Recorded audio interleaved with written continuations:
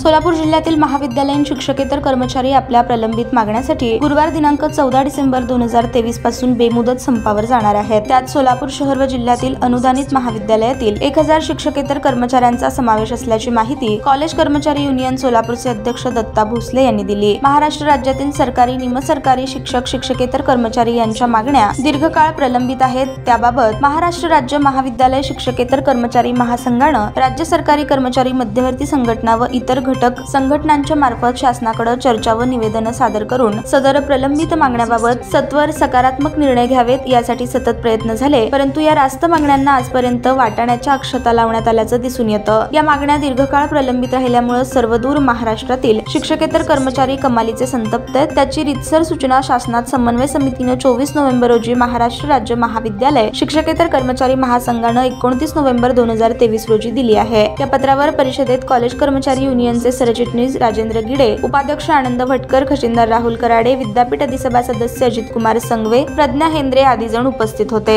या संपामध्ये महाविद्यालयातील सर्व कर्मचारी आम्ही या संपामध्ये सहभागी होत आहोत. आणि आमच्या गेल्या अनेक वर्षापासूनच्या मागण्या आहेत. जुनी पेन्शन योजना कंत्राटी कंत्राटी पद्धतीच्या संदर्भातल्या आहेत. रिक्त पदं भरा अनुकंपा तत्वावरची त्वरित पदं भरा आणि सातवा वेतन आहे जानेवारी सोळापासून जे आयोग चालू झाले त्या आयोगाची आतापर्यंत आम्हाला सोलापूर विभागाला सोलापूर विभागाला पनवेल आणि कोल्हापूर या तीन विभागामध्ये आम्हाला आणखी सातव्या आयोगाचे भविष्य निर्वाह निधीचे हप्ते पैसे आम्हाला मिळाले नाहीत आणि रोखी सुद्धा मिळालेले नाही. रोखी सगळ्या महाराष्ट्रातच आहे परंतु ह्याचे हप्ते काय अजून मिळाले नाही हे मिळवण्यासाठी आम्ही सर्वजण उपोषणासाठी जातो बेमुदत बाबतीत. उपोषण नाही बेमुदत बाबतीत. ताज्या बातम्या पाहण्यासाठी प्राईम महाराष्ट्र न्यूज चॅनलला सबस्क्राईब करा